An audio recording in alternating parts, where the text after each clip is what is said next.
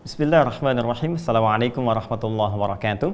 Alhamdulillah wassalatu wassalamu ala Rasulillah wa ala alihi wa sahbihi wa man walah wa ba'd. Saudara-saudariku berjumpa kembali dengan saya Adi Hidayat. Kita mengkhususkan kajian serial seputar sejarah Yahudi atau perjalanan genealogi Yahudi. Bagaimana bisa lahir sampai membentuk komunitas hingga kini dan berinteraksi secara global dari mana mereka datang, seperti apa kemudian mereka melalui perjalanan-perjalanan sampai uh, wujudnya ada saat ini berkomunitas bahkan uh, berbangsa gitu kan dan memberikan pengaruh-pengaruh dalam kehidupan. Nah, seperti apa Al-Quran memberikan gambaran kepada kita dari sejak dahulu, bagaimana muncul, kemudian sampai kekinian, sampai bagaimana membimbing kita bersikap dalam konteks kehidupan global dan menyikapi persoalan-persoalan kekinian yang tengah kita hadapi. Di pertemuan-pertemuan yang lalu telah tiga episode kita bahasnya. Dari episode yang pertama saya terangkan bahkan dari Nabi Ibrahim alaihissalam ya baik ke atas jalurnya ataupun ke bawah. Kemudian yang keduanya kita turunkan lagi perjalanan sampai ke Nabi Yakub alaihissalam, Nabi Yusuf alaihissalam, dan yang ketiga tiba kita di perjalanan Nabi Musa alaihissalam kan yang telah berada di Mesir dan belum tuntas kita uh, selesaikan. Nah mohon izin di bagian yang keempat ini saya ingin sedikit detilkan kisah Nabi Musa alaihissalam karena ini begitu menarik ya di Al-Qur'an ini dibahas kurang lebih ada 20 surat membahas Nabi Musa alaihissalam interaksi beliau alaihissalam dengan uh, umatnya dengan kaumnya. Yang kelak nanti dari kaumnya ini menurunkan satu generasi yang kita namakan sekarang dengan Yahudi itu ya. Lalu kita juga akan uh, temukan bahwa bagaimana Nabi Musa disebutkan lebih dari 120 kali. Ada yang mencatat 136 kali dalam Al-Quran disebutkan. Jadi di 20 surat kurang lebih 136 kali penyebutan. Dan ada yang merinci di antara surat-surat ini. Ya, baik nanti di Al-A'raf, kemudian di Al-Qasas, nanti ada beberapa surat-surat yang lain, termasuk surat Toha. Nah, kita akan gali bagaimana perjalanan itu dikisahkan, bagaimana detil kehidupannya digambarkan, sehingga kita mengerti menjadi pedoman bagi kehidupan kita pada masa kini. Nah, kita akan turunkan dan saya akan fokus kepada Al-Quran dulu ya. Nanti dari satu waktu yang lain kita coba akan kembalikan kepada eh, perbandingan-perbandingan kajian di beberapa kitab-kitab yang ada sampai dengan sekarang termasuk di eh, kitab-kitab yang uh, juga dinilai suci oleh beberapa eh, kalangan-kalangan yang lain. Nanti kita akan bandingkan kalau perlu kita komparasikan dengan pemateri-pemateri lain sehingga dengan itu mendapatkan wawasan yang lebih baik. Oke, kita coba lihat dulu di sini. Saya berikan peta dulu sehingga terukur pembahasan kita. Ya, kita akan coba lihat esensi kisah Nabi Musa itu alaihissalam sampai tadi banyak disebutkan dalam Al-Quran hikmahnya apa ya. Terus kaitannya nanti dengan perjalanan kaum Yahudi kemudian korelasinya kisah Musa dengan dakwah Islam ya. Tentunya Nabi Musa membawa risalah Islam juga menyampaikan risalah Islam dalam kehidupan dan risalah Islam tidak berhenti sampai dengan kehidupan berakhir. Ya dari Nabi Adam alaihissalam sampai ke Nabi Muhammad SAW Rasul terakhir membimbing seluruh manusia. Artinya ketika kehidupan berakhir ya maka selesai tugas di muka bumi di dunia dan kembali kita kepada Allah mempertaruhkan dan mempertanggungjawabkan semua apa yang kita kerjakan dalam naungan keislaman kita dalam risalah ini. Nanti setiap generasi akan terkait berkelindan ya bagaimana pesan-pesan di masa lalu diberikan gambaran kepada masa depan kini untuk kita nanti untuk generasi setelahnya sehingga menjadi pedoman kehidupan yang kita bisa ambil hikmahnya. Nah, saya coba bahas yang ini dulu, dua teman-teman, uh, supaya kita ambil dulu beberapa hikmah, esensi yang kita bisa hadirkan. Ya, pertama gini, uh, ini sejarah Yahudi nanti tidak akan terpisah jauh, ya, tidak akan terpisah jauh dari kisah Nabi Musa alaihissalam. Esensi kisah Musa alaihissalam sehingga banyak disebutkan dalam Al-Quran di 20 surat kurang lebih, kan? 136 kali disebutkan seperti yang tadi telah saya uraikan. Uh, apa yang dapat kita raih di sini, hikmah apa, gitu kan? Uh, yang pertama teman-teman sekalian, ini Nabi Musa alaihissalam adalah di antara nabi yang banyak diuji oleh Allah Subhanahu wa taala. Bahkan boleh kita katakan bahwa Nabi Musa itu ujiannya lengkap dari lahir sampai dengan kemudian beliau meninggal. Ya ini makanya di dalam Al-Qur'an surah ke-20 Taha Quran surah ke-20 Taha di ayat yang ke-40 ya itu di pertengahan mau ke akhir ayatnya. Allah menyampaikan wafatannaka futuna. Ya? dan kami menguji engkau dengan berbagai ragam ujian. Ya jadi banyak sekali menimpa Nabi Musa alaihissalam diuji dari sejak lahirnya bahkan. Lahirnya sudah mendapat ujian. Ya kan? Nanti kita akan lihat bagaimana kekuasaan pada masa itu ya kan? Menggambarkan kepada kita satu hal yang sangat luar biasa mencekam karena bayi-bayi akan diincar dan dibunuh jika dia laki-laki. Jadi baru lahir terdapat ujian ya kemudian uh, dia dihanyutkan di sungai kan? Uh, tumbuh dewasanya dapat ujian lagi terusir dari uh, kampungnya dari tempatnya karena terancam dengan sebuah peristiwa pulang dapat ujian lagi sampai mau meninggal pun dapat ujian juga. Ini sangat menarik teman-teman sekalian. Jadi Nabi Musa alaihissalam di antara nabi yang banyak diuji oleh Allah Subhanahu wa taala dan ini manhaj Al-Qur'an. Ya untuk memberikan semangat kepada Nabi wasallam ketika beliau diuji dalam berdakwah dan ini akan diturunkan kepada kita juga umatnya. Ya, bahwa setiap manusia mendapatkan ujian. Jadi kalau Anda mengatakan, "Duh, saya punya persoalan di rumah tangga, saya punya persoalan di kantor, saya punya persoalan di kehidupan sosial." Jangankan Anda. Para nabi saja, mohon maaf, yang dijamin surganya, dekat dengan Allah, mendapatkan penilaian takwa yang sangat tinggi, mereka nggak lepas dari ujian. Ya, karena itu ketika Nabi Muhammad SAW membawa risalah, sering kali Al-Quran menurunkan manhaj untuk memotivasi. Oke, kamu jangan patah semangat Muhammad SAW. Kalau kamu sakit bukan cuma engkau yang sakit. Nabi Ibrahim saja kakek buyutmu pernah sakit. Quran surah ke-26 ayat 80 turun. Ya, sampai dikatakan wa idza maridtu fahuwa yashfin. Nabi Ibrahim kalau sakit-sakit ya, kemudian berdoa kepada Allah yakin kalau saya sakit pasti Allah sembuhkan. Kemudian Nabi Ayub pun pernah sakit. Turun Quran misalnya surah ke-21 ayat 83 sampai dengan 84. Ketika diuji misalnya dengan kaumnya yang melempar, yang macam-macam, maka diturunkan kemudian kisah Nabi Yunus misalnya alaihissalam, diturunkan kisah Nabi-Nabi yang lainnya untuk memberikan motivasi.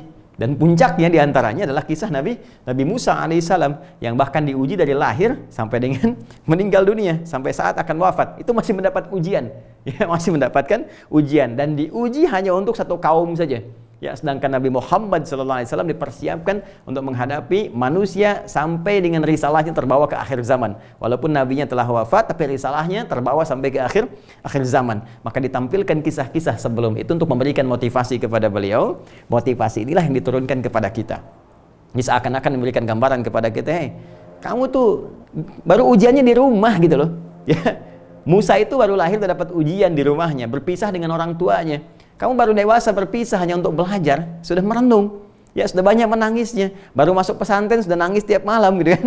Nabi Musa itu udah pisah dari ibunya dari kecil ya kemudian terus dibawa ya kepada kita sehingga menguatkan. Dan nanti ada manhaj dalam Al-Qur'an membimbing kalau ada ujian ini begini mengatasinya. Kalau yang sulit begini begini doanya. Seperti Musa berdoa seperti ibunda Musa berdoa ya misalnya seperti Nabi Ayub berdoa seperti Nabi Yunus berdoa dan turunan-turunan yang lainnya. Ini yang penting saya tampilkan dulu sebelum kita menghadapi banyak hal. Nah Nabi Musa ini ternyata hikmahnya banyak diuji teman-teman sekalian ya supaya lebih kuat. Kualitas meningkat karena akan menghadapi umat ya satu komunitas yang memang luar biasa menyebalkannya. Ya yang luar biasa nggak nurut jadi dimantapin dulu tuh. Dikuatkan oleh Allah supaya banyak ya kesabarannya. Banyak kemudian ketahanannya. Sebab kalau kalau itu tidak muncul kesabaran tidak muncul kekuatan nggak muncul doa Nabi kan terkabul. Ya Allah ini nyebalkan sekali umat ini nih. Kasih begini minta ini. Baru selamat dari Firaun dah. Nyari Tuhan yang baru. Wafatkannya semua ya wafat Cuman nggak ada hikmah risalah kenabian di dalamnya. Ya karena itu ternyata di balik satu ujian itu itu menguatkan kita supaya lebih kuat lagi, kuat lagi dan berita baiknya ujian di masa kini itu sesungguhnya adalah sebuah keadaan yang disiapkan oleh Allah untuk menguatkan diri kita untuk menghadapi ujian lebih besar di masa depan yang meningkatkan kualitas kehidupan kita. Ya, bukankah anak SD itu belajar-belajar diuji supaya ada persiapan ke SMP? Ya kan? Semakin mantap ilmunya, semakin siap ke atasnya. Bukankah anak SMP diuji ya supaya lebih kuat, lebih siap untuk ke atasnya lagi? Nah, kita juga begitu. Karena itu berbahagialah kalau ada orang yang tengah menghadapi ujian yang paling sulit, itu berita baik. Karena Allah ingin menguatkan kualitas Anda dengan kualitas terbaik karena tantangan di masa depan akan dihadirkan kepada Anda untuk mengangkat derajat Anda lebih tinggi dari sebelumnya. Itu ya, karena orang besar nggak mungkin diuji dengan ujian kecil. La yukallifullahu nafsan illa usaha. Allah tidak akan menguji seorang hamba di luar batas kemampuannya. Baik, ini hikmahnya, ya. Nah, kemudian beliau diuji ya kepada umat yang sangat keras kepala. Yang ini nanti teman-teman sekalian akan ada korelasi nanti ya dengan turunnya ayat-ayat e, kepada Nabi Muhammad SAW untuk disampaikan kepada umatnya. Ya, jangan seperti umat-umat yang telah lalu telah jelas kemudian satu persoalannya banyak ditanyakan sehingga turun kemudian perintah misalnya di Quran surah kelima Al-Maidah ya dari ayat 100 sampai 101 itu kan ya ya ayyuhalladzina amanu la tasalu an asya'a in tubdalakum tasukum. Hai orang-orang beriman ya kalau persoalan sudah jelas disampaikan kemudian bimbingan sudah jelas disampaikan jangan banyak ditanyakan lagi khawatir banyaknya pertanyaan itu menjadikan yang sudah jelas makin tidak jelas dan sulit bagi kamu kemudian untuk untuk mengeksekusinya ya nanti kita akan lihat bagaimana kisah-kisah yang terkait dengan umat Nabi Musa yang ketika diberikan bimbingan banyak ditanya lagi banyak mengolok-ngolok lagi sehingga menyulitkan bagi mereka Nanti puncaknya di kisah uh, surah Al-Baqarah itu. Nanti kita akan masuk juga ke sana di antaranya ya. Nah, teman-teman, uh, kemudian ini kisah Nabi Musa alaihissalam juga punya korelasi nanti ya dengan dakwah dakwah Islam. Karena nanti saat Nabi SAW eh, beliau kemudian uh, berhijrah dari Makkah Al-Mukarramah ke Yathrib yang kelak menjadi Al-Madinah Al-Munawwarah menemukan nanti turunan-turunan Yahudi. Ya dan itu nanti adalah uh, keturunan dari ya umat yang uh, menyebar ini. Ya menyebar ke seantara ke seantara dari masanya Musa alaihissalam nanti masuk nanti ke Palestina menyebar lagi dan sebagainya. Pada akhirnya nanti ada yang masuk uh, kemudian di wilayah Yathrib yang kelak jadi Al-Madinah Al-Munawwarah. Nah karakteristiknya itu mirip-mirip begini. Ya keras kepala, sudah diarahkan banyak ingkar, bikin perjanjian diingkari, mencoba untuk mempersekusi Nabi, ada yang pengen mengeksekusi, mencoba untuk melakukan pembunuhan, kemudian juga berkomplot ya, e, melakukan sebuah koalisi ya dengan orang-orang Mekah bahkan untuk menyerang orang-orang Islam di Madinah. Ini ini dahsyat sekali. Ya karena itu nanti teman-teman sekalian, nah ini eh, bagaimana perjalanan Nabi Musa alaihissalam ditampilkan oleh Al-Quran ya kan, kepada Nabi Muhammad sallallahu alaihi wasallam untuk diberikan gambaran. Nah, ini asalnya begini, dulu begini. Musa aja menghadapinya sampai meninggal dunia. Ini dasarnya Nabi Muhammad sallallahu alaihi wasallam. Apa yang tidak bisa diselesaikan oleh Nabi Musa alaihissalam dalam periode lahirnya sampai dengan wafatnya dituntaskan dengan sangat singkat oleh Nabi Muhammad sallallahu alaihi wasallam karena manhaj terdahulu diberikan gambaran kepada beliau oleh Al-Qur'an dan dibimbing oleh wahyu begini cara mengatasinya. Paham ya? Nah itulah yang disampaikan kemudian kepada kita karena risalahnya abadi. Nanti kalau kamu ketemu Yahudi lagi, nih baca Al-Quran. Bagaimana Nabi Muhammad SAW dibimbing oleh Allah, kemudian diteruskan kurikulumnya kepada kita, sampai ke kita pelannya diturunkan begini. Tut. Bahkan kalau kamu nggak percaya, kata Allah, buka lagi kisah Nabi Musa AS. Nih, dari zaman Musa seperti ini. Ke atas lagi, zamannya Yusuf alaihissalam seperti ini. Bahkan Nabi Yusuf pun kemudian ada rencana-rencana untuk bisa menjahilinya, rencana-rencana untuk mengeksekusinya dan sebagainya. Walaupun kemudian bertobat dan keturunannya menyebar, nah di keturunan inilah kemudian terjadi sesuatu yang sangat luar biasa yang akan ditemukan di kisah Musa alaihissalam. Jadi ini penting saya awalkan teman-teman sekalian untuk menyampaikan bahwa ada kurikulum kehidupan. Ini ya. Nah, sini ada pedoman yang disampaikan oleh Al-Quran yang nanti pedoman ini teman-teman sekalian bahkan diringkas oleh Al-Quran karakteristiknya. Yang panjang-panjang ini kan di kisah Nabi Musa tuh dikisahkannya panjang-panjang gitu kan. Dari mulai mohon maaf sekali ya oh, setelah uh, saat menghadapi Firaun seperti apa keadaan umatnya. Keluar dari kejaran Firaun ditenggelamkan Firaun tuh ya kalau kita tuh belum kering tapak kaki dari air laut yang dilewati itu gitu kan Nah itu sudah baru lewat situ udah minta Tuhan yang baru. Terus diarahkan masih ngeyel, ditinggal sebentar itu sudah melawan, bahkan mencoba untuk mempersekusi Harun alaihissalam, gitu kan? Lalu setelah itu diberikan kesempatan untuk hidup di tempat yang damai, tentram, diberikan jaminan untuk masuk dengan kemenangan, masih ngeyel juga. Nah ini sesuatu yang sangat luar biasa dan disebutkan karakternya tegas nanti dalam Al-Quran bagaimana karakternya dengan dengan sangat uh, singkat dan padat sekali. Ya karena mereka merasa yang paling tinggi merasa yang paling hebat merasa yang paling dekat dengan Allah rasialnya tinggi gitu kan? Bahkan juga uh, mereka tidak ingin uh, merasa diungguli dalam bidang ekonomi dalam politik dalam kekuatan dan sebagainya. Dan di balik itu pun ada rasa-rasa penakutnya. Nah itu nanti ada pedoman dalam Al-Quran. Dan itu abadi sifatnya abadi karena Al-Quran saat diturunkan itu menjadi pedoman kehidupan sampai kehidupan itu berakhir untuk semua manusia. Makanya di Quran itu lengkap sekali menghadapi umat ini seperti ini, menghadapi yang begini begini, bahkan menghadapi diri kita pun itu ada. Yang pemarah begini solusinya. Dengan hei menghadapi sifat ria begini solusinya. Yang dengki iri hati begini solusinya. Jadi yang kecil saja ada, maka yang kompleks pun sudah barang tentu akan terjamin pedomannya dalam Al-Qur'an. Jadi di sini saya turunkan bagian kedua ini ya, pembahasan ini korelasinya ujian serupa dengan Rasulullah sallallahu alaihi wasallam. Artinya apa yang dihadapi oleh Musa alaihissalam juga dihadapi oleh Nabi Muhammad sallallahu alaihi wasallam saat beliau berada di Al-Madinah Al-Munawwarah. Kompleksitas kehidupan di sana yang disusun dengan piagam Madinah yang tadinya damai, piagam Madinah membawa kedamaian, ketentraman tiba-tiba itu bisa rusak oleh karakteristik yang terwariskan. Makanya saya sebut genealogi Karena ke atas itu naik, ya. Kayak ada warisan genetik gitu. Ya, kalau bahasa Al-Qur'an itu apa kalian saling mewariskan nih seperti ini, gitu ya. Ya, itu itu itu sangat menarik gitu ya. Itu sangat menarik. Jadi, teman-teman sekalian dari sini kemudian dihadapi dan Yahudinya kan nggak selesai. Sini kan menyebar lagi, menyebar, menyebar, menyebar, menyebar, menyebar. Nanti saya tunjukkan beberapa ayat dalam Al-Quran bagaimana mereka kemudian dihukum oleh Allah Subhanahu Wa Taala yang pertama kali untuk menyebar di seantara bumi, tapi karena sifat mereka, mereka pun nggak tentram. Nah, ini terbukti. Ya, mereka berpecah, ada yang ke mana, ke mana, ke mana, termasuk di Indonesia juga, ya masuk dan sebagainya. Dan sebagian dari kalangan mereka, sebagian besarnya masih membawa karakteristik ini. Walaupun ada sedikit di antara mereka kata Al-Quran yang punya objektivitas dalam kehidupan. Ya, nah ini teman-teman sekalian. Ya, ini, jadi pedoman ini nanti akan kita keluarkan. Sebelum kita ketemu pedomannya seperti apa, ya uh, Yahudi itu siapa, sifatnya bagaimana, kan? Kemudian kecenderungan hidupnya seperti apa, bagaimana cara dia uh, menunaikan ibadahnya dalam konteks religiusitasnya, gitu kan? Bagaimana sikapnya dalam beribadah, bagaimana sikapnya terhadap umat Islam dan sebagainya ini akan terbawa. Dan itu nyata. Sifatnya pasti nyata. Karena apa yang bersumber dari Allah hak sifatnya ya? Dan bagaimana puncaknya Al-Qur'an menuntun kita secara elegan menyikapi persoalan ini. Itu indah banget indah banget. Kalau kira-kira jadi tetangga gimana sifatnya? Gimana cara berhubungannya? Kalau kira-kira berbangsa seperti apa cara menyikapinya? Gitu kan? Dan seterusnya. Di ekonomi bagaimana? Di politik bagaimana? Di militer seperti apa? Lengkap sekali. Nah sebelum ke sini kita kembalikan dulu ke sini. Ya seperti kita ketahui teman-teman sekalian, Nabi Musa alaihissalam itu ya lahir saat masa kondisi Mesir itu, ya ini pra kelahiran Nabi Musa dipimpin oleh Firaun. Ya, saya telah terangkan di pertemuan yang kemarin yang ketiga, Firaun itu gelar. Ya, gelar bagi raja Mesir. Mesir, ya bahasa Latinnya Farao gitu kan. Nah, ini Firaun. Jadi gelarnya yang disebutkan. Nah, ini saat beliau ini pra kelahiran, ini yang pimpin namanya Qabus bin Yusuf al-Awwal, ya. Qabus bin Yusuf al-Awwal. Saya sudah sampaikan di pertemuan yang lalu sumber-sumbernya.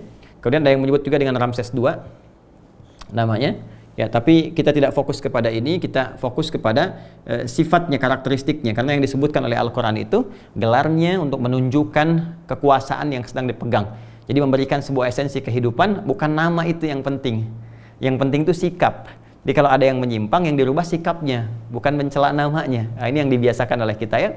Nah, kemudian nanti uh, kita akan kisahkan ini. Lalu saat Nabi Yusuf uh, uh, kemudian meninggal dunia awalnya mewariskan terus 400 tahun sampai ke sini kurang lebih 400 tahun. Dan di pertemuan bagian ketiga telah saya jelaskan ya bagaimana saudara-saudara Yusuf termasuk Nabi Yusuf alaihissalam itu membawa anak juga. Ya, saudara-saudara Nabi Yusuf kan membawa anak. Nabi Yusuf sendiri anaknya dua kan ya masih ingat ya yang saya sampaikan di pertemuan lalu? Ya manusia dengan Afrem itu. Kemudian dari situ kan berketurunan terus menyebar dan membentuk karakteristik selama 400 tahun. Maka lahirlah kemudian uh, raja yang selanjutnya Firaun selanjutnya ini Qabus bin Yusuf. Nanti saat Nabi Musa alaihissalam diangkat oleh Allah menjadi rasul mendapat wahyu ini meninggal digantikan oleh ini. Ya ada yang menyebut dengan Merneptah namanya Walid bin Mus'ab yang kemarin telah kita bahas beberapa karakteristiknya. Nah kondisi pra kelahiran ini teman-teman sekalian ini Ramses II atau disebut dengan Qabus bin Yusuf al-Awwal itu bermimpi. Apa mimpinya? Dia bermimpi ada kobaran bola api yang datang dari Bait al-Maqdis ya dari Palestina sekarang ya. Datang dari Bait al-Maqdis datang tuh menghancurkan ya menghancurkan kerajaannya, kekuasaannya, menghanguskan rumah-rumah dan sebagainya sampai dia ya di, dihinggapi dihantui oleh mimpi-mimpi ini. Ya begitu dia kemudian mendapatkan itu, dia konsultasilah kepada dukun-dukun. ini ini persoalannya ya. Jadi kalau kalau mohon maaf nih kebijakan-kebijakan senantiasa ditanyakan pada sifat-sifat yang tidak jelas, konsultasinya pada sosok-sosok yang bermasalah, maka nanti keputusannya pun akan bermasalah. Ya, makanya ketika Firaun itu minta masukan dari dukun, dari penyihir dan semacam-semacamnya, maka jadi persoalan. Ya, apa yang disampaikan? Wah, ditakwilkanlah kemudian oleh e, para dukun ini bahwa nanti akan ada satu sosok dan seorang anak yang datang dari Baitul Maqdis atau keturunan dari Baitul Maqdis yang nanti akan menghancurkan kerajaanmu di masa depan. Nah, ini yang jadi persoalan teman-teman sekalian. Maka ditafsirkan gak ada yang lain. Kalau dari Baitul Maqdis itu kan ya keturunannya pasti diurut-urut lagi. Ya, siapa urutan-urutan itu? Ya kita kembali ke sini teman-teman sekalian. Ya, ini kalau kita lihat kan kondisi sosiologis masyarakat Mesirnya ini pada masa itu ya, bukan sekarang. Pada masa itu kondisi sosiologisnya rakyat Mesir sendiri kan terbagi dua, pribumi orang Mesir sendiri nanti ya yang ini nanti akan terus dinaikkan sampai ke atas sampai ke kisah Nabi Yusuf alaihissalam ya yang terus mendapatkan jabatan. Lalu kemudian ini ya ada bagian yang kedua itu yaitu pendatang, keturunan pendatang. Ya, saya sebut keturunan karena dari ke atas itu loh, dari Nabi Yusuf dan 11 saudaranya. Kan ada 12 kan yang disebut asbat Badi Israel itu. Itu kan berketurunan terus, sedangkan mereka sifatnya asalnya pendatang bukan asli. Dari mana pendatangnya? Dari Kanaan. Ya, saya telah terangkan Kanan yang ini bukan Kanan anak Nabi Nuh alaihissalam, ya, tapi Kanan turunan-turunan dari generasi-generasi sebelumnya yang telah saya sebutkan. Yang dimaksud adalah Palestina. Karena ini Kanan nanti menghuni Palestina. Saya telah uh, terangkan Anda uh, kembali lagi ya ke belakang supaya saya tidak mengulang lebih banyak. Nah, nah di sini ada Baitul Maqdis. Ya, Baitul Maqdis. Ya kan? Yang uh, Al-Aqsa yang sekarang kompleknya itu yang kita dapati itu dan ini nanti ada Nabi Ibrahim yang banyak beraktivitas di sini diturunkan kemudian ke Nabi Ishak turunkan ke Nabi Yakub yang sempat tinggal di sini sebelum berhijrah ke Mesir nah ditafsirkannya karena datangnya dari sini maka nggak ada yang lain kecuali keturunan pendatang yang ini ya Siapa keturunan pendatang ini? Ya keturunan ke Bani Israel yang 12 itu. Siapa 12 ini? Anaknya Nabi siapa? Nabi Yakub alaihissalam. Nabi Yakub Ya, 12 orang termasuk Nabi Yusuf kan? Yang hijrah ke Mesir. Ah, ini anaknya Nabi Yakub. Siapa Nabi Yakub? Anaknya Nabi Ishak. Siapa Nabi Ishak? Anaknya Nabi Ibrahim alaihissalam. Karena ini beraktivitasnya di Kanan, di Palestina, Baitul Maqdis sebelum hijrah ke Mesir, maka ditafsirkan oleh para dukunnya, ini asalnya dari Baitul Maqdis, maka tidak ada yang lain kecuali keturunan Bani Israel. Dari situlah keturunan Bani Israel diburu, dari situlah kemudian dipersekusi sampai ada dekret yang keluar. Nah, ini yang digambarkan oleh Al-Quran di pembuka uh, surah Al-Baqarah dan pembuka kisah Nabi Musa alaihissalam. Nanti ada di Al-Baqarah, di Al-A'raf dan turunan yang lainnya. Di Quran surah kedua itu di Al-Baqarah ya. Di ayat ke-49 teman-teman sekalian, ya paling kiri sebelah atas di mushaf. Nah, ini uh, sangat viral ya sampai ke kita saat ini ketika Allah menyampaikan wa idnajjainakum min ali fir'auna yasumunakum su'al 'adzab yudzabbihuna abna'akum wa yastahyuna nisa'akum kan wa fi dzalikum bala'un min rabbikum azim kan jadi kata Allah Subhanahu wa taala wa idnajjainakum min ali fir'aun dan ingatlah, pelajarilah, pahamilah, hei, hey Bani Israel, hei orang-orang Yahudi yang hidup pada masa itu, kan? Hei orang-orang Yahudi yang hidup pada masa itu, ingat lagi kisah-kisah yang dulu. Ya, kenapa engkau tidak mau menerima risalah Islam, tidak mau menerima dakwah Nabi Sallallahu Alaihi Wasallam, banyak menutupi kebenaran dan sebagainya, apa-apa yang saya sebutkan tadi. Ingat dong dulu, ketika kami selamatkan ya keturunan-keturunan yang dulu itu. Kalau nggak ada mereka itu, kalau nggak diselamatkan, nggak ada kalian sekarang. itu poinnya gitu ya. Ya, min ali Fir'aun dari koleganya Fir'aun. Jadi Al-Quran tuh sering kali menyebutkan Fir'aun tuh nggak sendirian, tapi dengan kolega gitu kan. Ya, karena nanti ini kaitan eratnya kan ini ini ke sini sudah kolega. Kemudian nanti ada Haman yang sempat saya singgung di pertemuan lalu, kan? Nanti ada bala tentaranya lagi, ada korun dan sebagainya. Jadi mereka berkomplot keseluruhan dan dibuat sebuah sistem sistematis yang sangat sistematis terukur bagaimana kemudian mengeksekusi mimpinya ini Qabus bin Yusuf al-Awwal sebagai Firaun atau sebagai raja pada saat itu yang bermimpi ada bola api datang dari Baitul Maqdis dan nggak ada tafsir lain kecuali dari keturunan Bani Israel yang tadi saya terangkan. Maka dari itu dibuatlah sebuah dekrit, ya apa dekritnya? Semua anak-anak yang ada pada masa itu. Bahkan ada kisah menyebutkan laki-laki. Jadi lucu nih. Ya lucunya kadang musim-musiman. Kalau pengen bunuh, bunuh gitu kan, yang laki-laki. Kalau enggak, ya enggak gitu kan. Makanya ada yang menafsirkan ketika masanya Nabi Harun itu belum muncul dekrit itu ya atau ada yang mengatakan itu periode periodenya nggak ada pembunuhan gitu. Nanti pas zaman Nabi Musa ada lagi. Nah jadi di sini teman-teman sekalian ada yang sangat menarik. Allah sampaikan kami lepaskan kami selamatkan kalian dari kekejaman kolega Firaun.